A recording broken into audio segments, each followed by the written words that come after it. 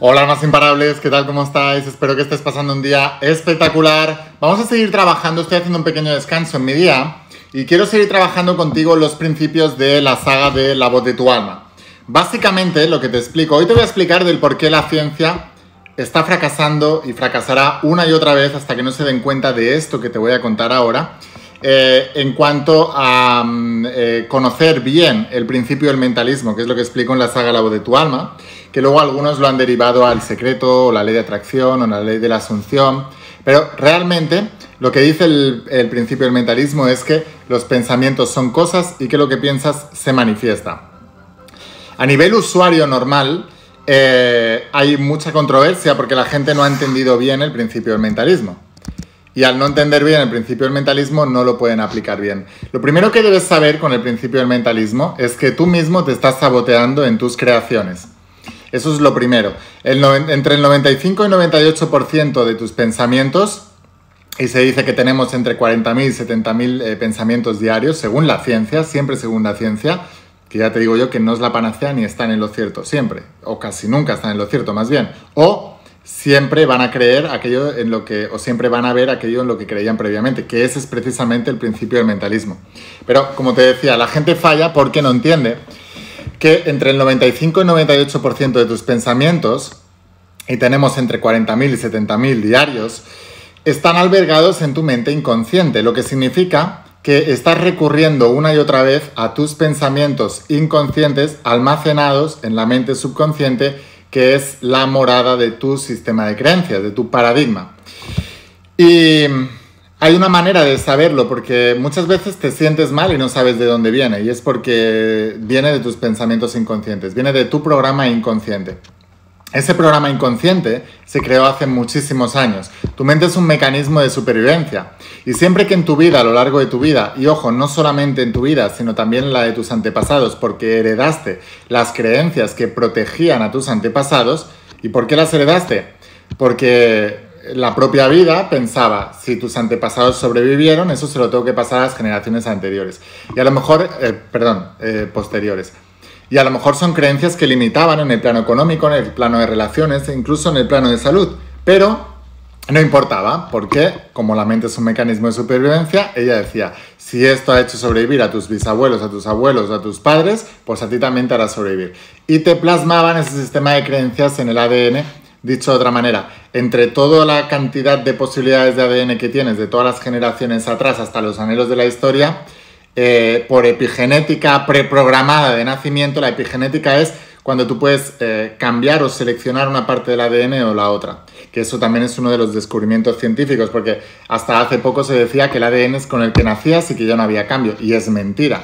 Por eso, una, una mentira más de la que la ciencia nos ha contado a lo largo de la historia hasta que hemos dejado de creerlo, porque ellos mismos han dicho que eso no es así. Pero tú ves dos gemelos idénticos y cuando cumplen 50 años no se parecen mucho. ¿Por qué? Porque la epigenética dice que han activado partes de los genes diferentes debido a que a las circunstancias que han vivido durante toda su vida. Pues te decía, tú cada vez que en el pasado viviste un, un suceso que creó un alto impacto emocional en ti o se, o se repitió muchísimas veces, tu mente almacenó eso en tu sistema de creencias y has vivido en base a ello y has recurrido a esos pensamientos una y otra vez, una y otra vez, una y otra vez. Por eso, la experiencia de sanar el alma y de desengramar es tan importante, porque liberamos esos programas del pasado. Pero no es el objetivo de lo que te quiero contar hoy. Te decía que eh, los propios científicos también tienen esos eh, sistemas de creencias albergados en su mente subconsciente y eso es lo que está entorpeciendo en el resultado de los nuevos descubrimientos o de los nuevos eh, experimentos. Ellos creen lo que quieren creer, igual que todas las personas de todo el planeta, pero con la diferencia de que ellos están tratando de averiguar cómo funciona esto que se llama la realidad. Y nunca van a entender el principio del mentalismo básicamente porque todavía a día de hoy la gran masa científica no se lo cree. Dicho de otra manera, em, el, universo entero, algunos científicos, sobre todo los, físicos cuánticos, vamos, los físicos tradicionales no, pero eh, dicen que se comporta como un holograma. O sea, que nosotros estamos proyectando lo que nosotros creamos de la realidad. Y algunos otros dicen, no solamente lo que tú proyectas, sino lo que proyectamos todas las personas que configuramos la humanidad, ¿no? Ahora, ¿por qué la ciencia, y eso es el efecto observador, ¿por qué la ciencia, como sigan así, nunca jamás van a hacer el descubrimiento más fundamental de todo el ser humano? El día que entendamos estos, se van a acabar las guerras, se va a acabar eh, la enfermedad, que la erradicación de la enfermedad nunca está en el sistema farmacéutico, nunca, sino aquí. Eh, las guerras políticas, eh, el hambre en el mundo, la miseria en el mundo y todo eso se va a acabar cuando la humanidad entera entienda los principios de la saga de la virtual el principio del mentalismo. Este es el primer tomo, son 11 tomos. ¿Por qué? Pues porque por ignorar estos principios, el ser humano insiste una y otra vez en hacer campañas en contra de determinada enfermedad, que lo único que están haciendo es todas estas personas que se, que se congregan para ir en contra de una enfermedad, o vamos a montar una ONG o una fundación en contra de X enfermedad, em, y se ponen lacitos en contra de X enfermedad y lo que sea, no se dan cuenta desde su propia ignorancia en el principio del mentalismo que lo que están haciendo es precisamente promover eso en la mente de las personas y después crearlo en la parte física de las personas. O sea, por eso siempre digo que eh, la ignorancia no quiere decir que no puedas hacer daño, porque por ignorancia se puede hacer muchísimo daño.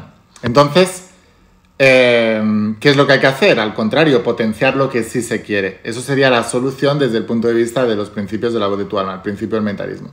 Porque la ciencia no llega a esas conclusiones. Te voy a leer una historia para que lo entiendas. Mirad. Em, Daryl Bem, un psicólogo eh, social de la Universidad de Cornell, llevó a cabo un interesante estudio sobre la precognición. La precognición es la capacidad de predecir lo que va a pasar en el futuro. Hay, eh, por cierto, muchos eh, em, experimentos en el Instituto HeartMath, que es un instituto que hay en Estados Unidos, que se encarga de, de estudiar la ciencia del corazón pero no del corazón de la parte física, sino las habilidades que tiene el corazón, ¿no? Y entre otras cosas se dieron cuenta de que el corazón humano tiene precognición. Lo que hicieron para darse cuenta de esto es poner a una persona sentada delante de una pantalla de ordenador y esa pantalla de ordenador sacaba imágenes aleatorias, unas imágenes positivas y otras negativas. Y lo que ocurría es que unos segundos antes de que apareciera la imagen, el corazón reaccionaba en base a la imagen que iba a salir. O sea que el corazón tenía precognición de unos segundos con respecto a la imagen que aleatoriamente el programa iba a sacar. Aleatoriamente, o sea, ni siquiera estaba seleccionada, era algo aleatorio. Pero la precognición del corazón trasciende el espacio y el tiempo, o sea, está conectado a la mente supraconsciente. Por eso en la saga La Virtual os digo que atraemos desde el corazón y el corazón es el órgano más importante. Por eso, en el símbolo de todos mis libros aparece el corazón infinito, o en el collar también eh, los que lo tenéis, pues veis que hay un corazón infinito ahí. ¿Por qué? Porque el corazón es el órgano de atracción y tiene precognición. Por eso en nuestra cultura se dice, he tenido una corazonada. ¿Has dicho alguna vez esto? He tenido una corazonada. ¿Qué es una corazonada? No es más que una precognición de algo que va a pasar en el futuro, malo o bueno. Es eso, eso es una precognición, ¿no? Bueno, pues te digo, Daryl Byrne, un psicólogo social de la Universidad de Cornell, llevó a cabo un interesante estudio sobre la precognición. Y en una serie de nueve experimentos que contaron con mil participantes, descubrió un vínculo estadísticamente significativo em, que apoyaba la posibilidad de un conocimiento previo de sucesos futuros. BEM 2011. O sea, nueve experimentos con más de mil eh, participantes y eh, dio un resultado significativo como para tener en cuenta de que realmente sí hay una precognición, ¿no? Pero como siempre ocurre, los científicos que van un paso más allá de la ciencia establecida y de lo que se da por hecho en los libros de textos, los mismos científicos que criticaron a Nicolás Copérnico, a Galileo Galilei, a Guillermo Marconi, a todos los grandes de la humanidad que han hecho grandes avances, los mediocres siempre les critican. Y los mediocres normalmente son los eruditos y entendidos con más títulos en esa disciplina. Cuidado con esto. Los que tienen más premios, más títulos, más etcétera, normalmente son los más mediocres, los más escépticos, los que más por decirlo mal y pronto, los que más tocan las narices a la hora de que la, humanidad evolucione. Muy simple, hay que entender siempre, cuando tú veas algo que no entiendas mucho, trata de entender los, eh, lo que quiere lograr esa persona que se antepone, ¿no? Cuando tú coges un erudito y entendido que trata de echar por tierra el trabajo de un científico nuevo que está demostrando algo nuevo, es muy fácil de entender cuáles son, eh, cuáles son los intereses de esa persona, conscientes o inconscientes, en tirar para abajo esa teoría. Porque esa persona es un erudito y un entendido con títulos y con un montón de premios en las teorías antiguas. Si viene un científico nuevo a validar una nueva teoría que probablemente vaya en contra de la teoría por la que se le dio tantos premios a esos eruditos y entendidos, automáticamente el erudito y entendido deja de tener protagonismo, deja de ser el primero, deja de tener la necesidad de la importancia, esa tan importante para la propia mente. Son personas desde el ego porque en lugar de prevalecer la, evolución de la humanidad, prevalecen el status quo de sus títulos y de su estatus y de, su reconocimiento social y el reconocimiento dentro del campo científico. Ese, ese es el interés de esos científicos. Por eso, cuando veas algo que no te cuadra mucho, siempre intenta ver cuál es el interés que hay detrás de cada persona, porque cada persona, cada uno de nosotros, tenemos intereses. Por eso algunas malas lenguas dicen que eh, con todo esto que está pasando a nivel mundial, pues hay intereses farmacéuticos que financian a la OMS y por eso la OMS eh, da esas pautas tan raras y por eso no dejan entrar a, algunos médicos que están diciendo lo contrario, etcétera, etcétera, etcétera. Dicen. Ahora, eh, siempre mira el interés que hay detrás. ¿Sabes? O sea, si tú eres una organización mundial de la salud que te están financiando las farmacéuticas, pues lógicamente eh, vas a prevalecer el argumento de las farmacéuticas, pero no el argumento quizás de la, de la verdad sobre esas enfermedades, ¿no? Pues así ocurre también con la ciencia normal. Entonces, ¿qué es lo que ocurre? Y lo mismo con los medios de comunicación, ¿no? Comprados por todos, por todos estos sistemas. ¿Qué es lo que ocurre con todo esto? Fijaos. Primero, o sea, los detractores de Ben estaban eh, tan convencidos de la falsedad de las premoniciones que aplicaron un enfoque mucho más riguroso. O sea, primero, analizaron cada uno de los nuevos experimentos por separado en lugar de la combinación de resultados a fin de proporcionar una recopilación de datos más amplia posible. Si tú quieres demostrar que algo es real, no lo estudies em, separadamente sin relacionarlo, porque precisamente es al relacionarlos cuando se llega a un resultado. Es que es, tan absurdo querer analizar eso. El resultado es como decir, mira, la rueda de un coche no funciona porque analizas la tuerca por un lado, el, palo que lo cruza por otro lado, el neumático por otro lado. Y claro, esos elementos, sin tener la conexión, pues no hacen que una rueda gire, que un coche pueda eh, ir para adelante, ¿no? Pues es exactamente lo mismo. O sea, te he puesto un ejemplo lo más tonto posible para que todo el mundo lo entienda y para que lo entiendan incluso los que lo están haciendo. O sea, ¿cómo vas a analizar la precognición? Habiendo ya dado estudios con datos significativos de que eso es así y habiendo tantos y tantos estudios, si lo que haces es aislar cada una de las partes integrantes del estudio, tratarlas por separado y no relacionarlas. ¿Por qué haces eso? Porque tú tienes la creencia de que eso no es verdad y lo que tú vas a buscar es que eso no es verdad. Y entonces tu mente subconsciente siempre va a justificar lo que tú crees. La gente cree lo que quiere creer. ¿Entendéis?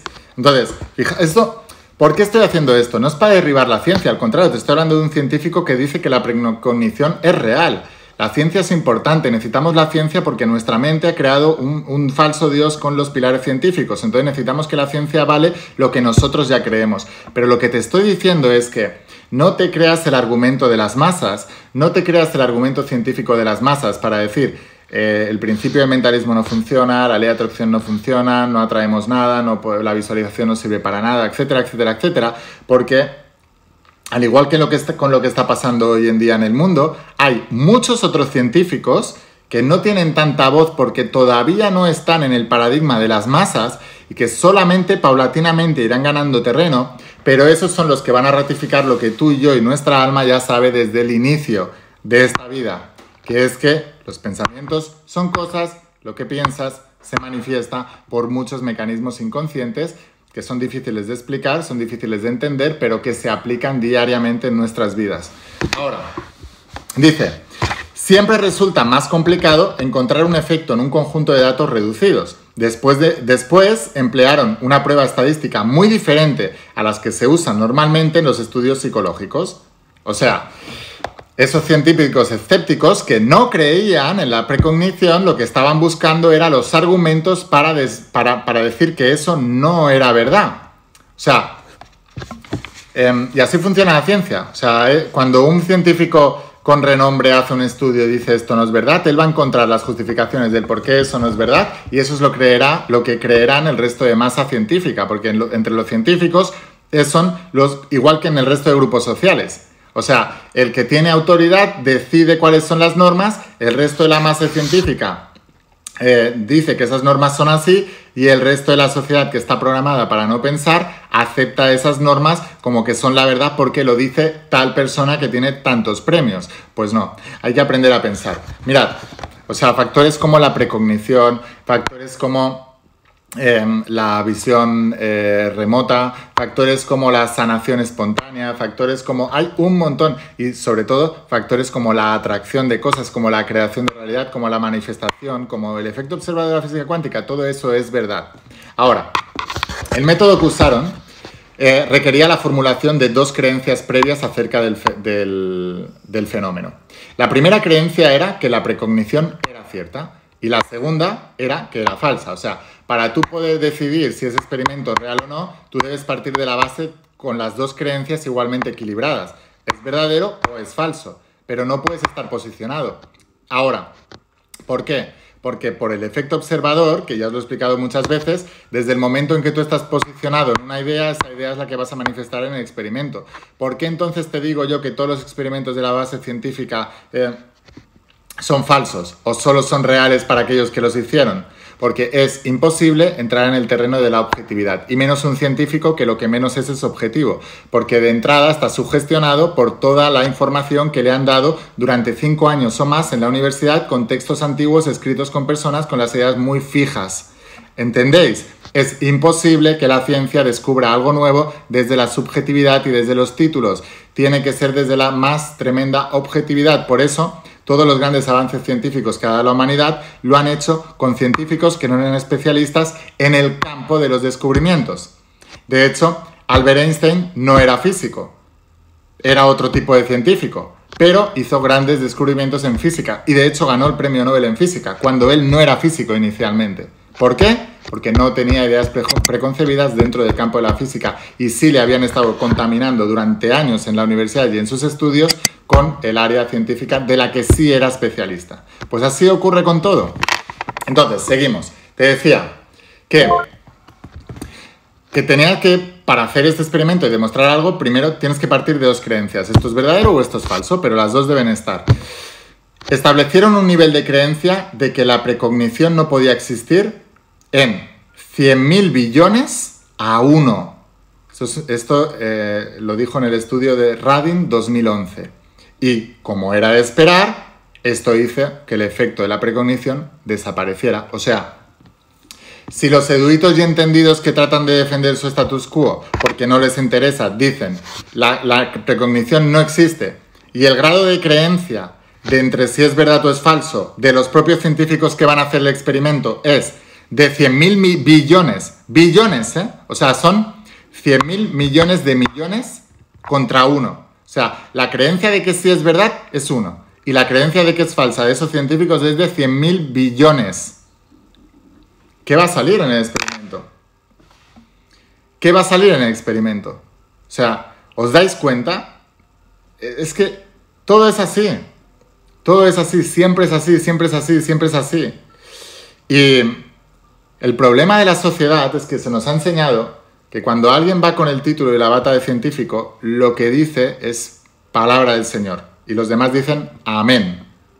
Y hay que dejar de decir amén, porque la palabra del Señor de estos científicos no es la verdad en la mayoría de los casos, porque todos sus experimentos están eh, contaminados por la sugestión de los pensamientos y de sus creencias de la mente subconsciente. Es así de claro, esa es la verdad. La verdad nos hace libres. Esa es la verdad y la verdad nos hace libres. ¿Por qué te cuento todo esto? Y, y fijaos lo que dice. El equipo de investigación de BEM utilizó el mismo método para analizar de nuevo sus propios datos. Descubrieron que si albergabas una mínima creencia de que la precognición podría ser cierta, el resultado colectivo de sus nuevos experimentos mostraba que existía. Como de mínima, solamente era necesaria una creencia previa de que había una posibilidad entre 100, millones de que, entre 100 millones de que pudiera darse. O sea, en lugar de una posibilidad contra 100.000 billones, solamente, solamente que tengas la creencia de una posibilidad entre 100 millones en lugar de una entre 100.000 eh, millones, billones, ya sale el experimento. O sea, en realidad, para, demostrar que la precognición funciona, se requiere de una sola creencia a favor contra 100 millones. Pero es que esos eruditos y entendidos tenían una en contra 100.000 billones. 100.000 millones de 100.000 millones de millones. Pero, o sea, en realidad no se requiere. Y fijaos con esto qué interesante. ¿Sabéis por qué llevo en este colgante semillas de mostaza?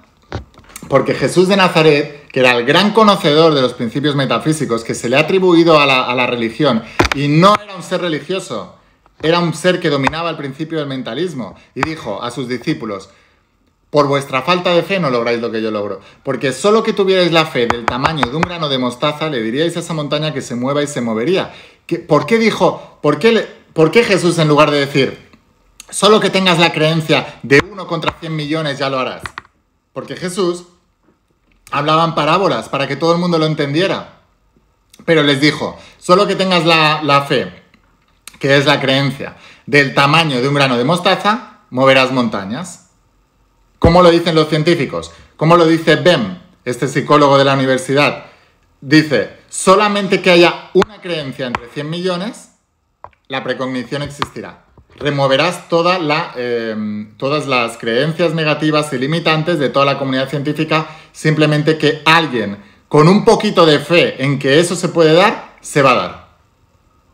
O sea, para que luego digan que los principios metafísicos o los principios bíblicos no son verdad y son inventados. Es que solamente hay que relacionar, hay que relacionar. Es exactamente lo mismo. ¿Entendéis? Ahora, fíjate, ¿eh? una posibilidad entre 100 millones. No era necesario creer de verdad en las, eh, premoniciones para identificar el efecto. No era necesario. Solamente que tu creencia fuera una entre una de verdad contra 100 millones de mentiras, ya se daba el efecto. Ya se daba. Por eso hay muchos estudios también que demuestran que todo este cambio de la humanidad que estamos viviendo, por eso estoy insistiendo tanto en que estudiéis las sagas, que leáis las sagas, que os creéis vuestro grupo de almas imparables, que todo el mundo entienda los principios de la saga de tu alma. Porque solamente que en una proporción de 1 contra 100 millones, vamos a ganar la partida contra todos los escépticos que hay en el mundo. Solo uno entre 100 millones. Si somos 8.000 millones de personas en el mundo, haced las cuentas y sacar la proporción que necesitamos. No es tanta. Una posibilidad entre 100 millones, el estudio validaba el fenómeno. Si uno comienza con la posibilidad de que los efectos retrocausales podrían ser reales, aun cuando esa posibilidad sea extremadamente pequeña, la fuerza de las pruebas disponibles cambiará sustancialmente su creencia en la precognición. Radim 2011. Chicos, el principio del mentalismo es real. No necesitas creer demasiado, solo necesitas aplicarlo y necesitas alejarte de los escépticos, porque si estás rodeado de escépticos, tu vida no cambiará. Se te han enseñado, se te ha enseñado a limitar tu propia vida.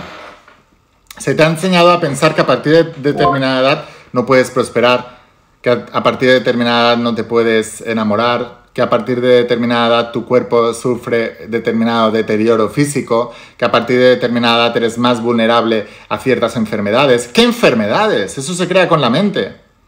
Que te han enseñado a un montón de creencias erróneas. La creencia de la muerte es mentira. La muerte genera dolor en todos los seres humanos porque se lo han creído así y porque les han enseñado a sufrir. Es mentira, la muerte no existe. Es lo primero que nos dijo Jesús de Nazaret. ¿De qué muerte me estás hablando? Si lo único que haces es dejar el cuerpo e irte al otro plano, que es de dónde venimos, ¿de qué muerte me estás hablando? ¿Por qué te han enseñado a sufrir? ¿Por qué no te han enseñado a llorar? ¿Por qué te han enseñado a pensar en chiquitito? ¿Por qué te han enseñado a buscar un sueldo fijo y lo más estable posible haciendo lo que no amas y venderte el resto de tu vida? Cuando todos nosotros tenemos un propósito y que hemos venido a entregar al mundo. Y ahí es donde vamos a generar la mayor abundancia. ¿Por qué te han enseñado a creer en bacterias, en virus y enfermedades externas cuando todo eso lo creas con la propia creencia y el propio miedo que tienes en la cabeza? ¿Por qué te han enseñado a creer en tantas mentiras y tantas falsedades basadas en, pilares científicos que no son más que las creencias puestas en estudios de los propios científicos que las hicieron? ¿Por qué has creado una sociedad y hemos dejado que se creara una sociedad en base a unas ideas falsas y erróneas y limitantes que nos están destruyendo la vida y nos están haciendo vivir una vida de limitación? ¿Por qué? ¿Cuándo hemos dejado, ¿cuándo hemos dejado que eso sea así? Así que, bueno, para poder aprender todo esto necesitas ser un estudiante. Espero haberte inspirado con todo esto, espero que te quites todas las etiquetas, todas las limitaciones y toda la porquería que te han metido en la cabeza. No hay edad, no existe muerte, no existe nada de lo negativo que te está enseñando en el mundo, a menos que tú creas en ello, vivas en ello y te enfoques la atención en ello. ¿Quieres cambiar tu vida? Enfócate en todo lo contrario, prosperidad, salud, abundancia, amor, todo lo que quieres en tu vida, enfócate en eso y deja de prestarle atención a toda la porquería y a todas esas personas que están engañadas y engañan, porque cuando un ciego guía a otro ciego, ambos caen en el hoyo.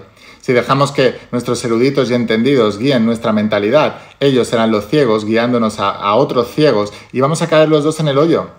No puedes dejar que eso pase, debes aprender a pensar por ti mismo. El principio del mentalismo empieza no solo por conocer los principios, sino por aprender a pensar por ti mismo, a seleccionar la información que metes en tu cabeza y a decirle no a cualquier cosa que contamine tu mente, incluidos medios de comunicación, películas, eh, novelas, todas las cosas que te lleven a cosas de la vida que no quieres tener en tu propia vida, identifícalas como el enemigo, identifícalas como el diablo. La gente me pregunta, ¿y el diablo existe? Sí, en tu mente. El diablo es todo lo negativo que no quieres ver en tu vida. A eso se refería la Biblia.